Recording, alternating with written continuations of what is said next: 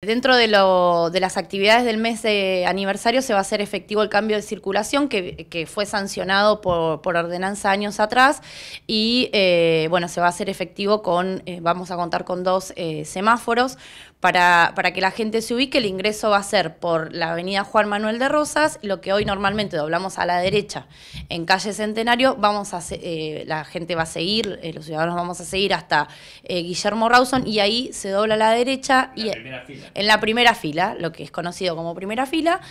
Ahí el cambio de circulación va a ser hacia la derecha hasta la altura de Acuavida, que se vuelve a hacer doble mano como es en el día de hoy. Exactamente, a partir de frente del internado es donde cambia el sentido de circulación de la calle Centenario. Es, es una cuestión que tenemos incorporada automática, por eso la, importancia de los semáforos en esas esquinas, que es donde se cambia el sentido de la circulación. Sí, en los próximos días seguramente eh, se va a publicitar un video explicativo que... Eh, eh, ponen en, funcionamiento lo que sería el cambio de circulación para que los vecinos eh, se ubiquen más en, de qué se trataría. Pero bueno, es importante porque, ¿qué nos pasaba? Uno ingresa a Playa Unión.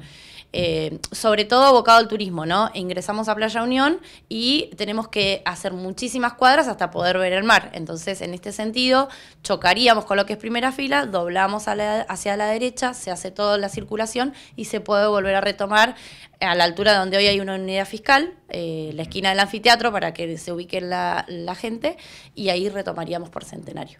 Hace una, es una cuestión de que lo hace más fluida y que también por una cuestión turística, si no, eh, nosotros teníamos que hacer muchísimas cuadras sobre segunda fila que no se ve el mar, no, no, no podemos ver el mar para, eh, para poder eh, lograr percibir todo el atractivo turístico. Entonces, así ingresamos a la playa, recorremos toda la primera fila y después, si se quiere, se vuelve por calle Centenario. En una parte de la segunda fila, que es la calle Centenario, te había mencionado una oportunidad que se podía llegar a ser una doble mano ahí. ¿Eso sigue estando en, carpeta? Está en carpeta, pero bueno, eso lleva a una cuestión de, logística y de infraestructura, apertura de una calle eh, bastante más importante. Como comienzo sería este cambio de circulación, que reitero, ya estaba sancionado por ordenanza, pero bueno, se hace efectivo con eh, algunas cuestiones viales que tenemos que tener en cuenta. Por ejemplo, la cartelería, el semáforo y demás. ¿En los próximos días se empieza a colocar los semáforos? Eh, los semáforos se van a colocar en los próximos días y se va a hacer efectivo después del 20 de septiembre.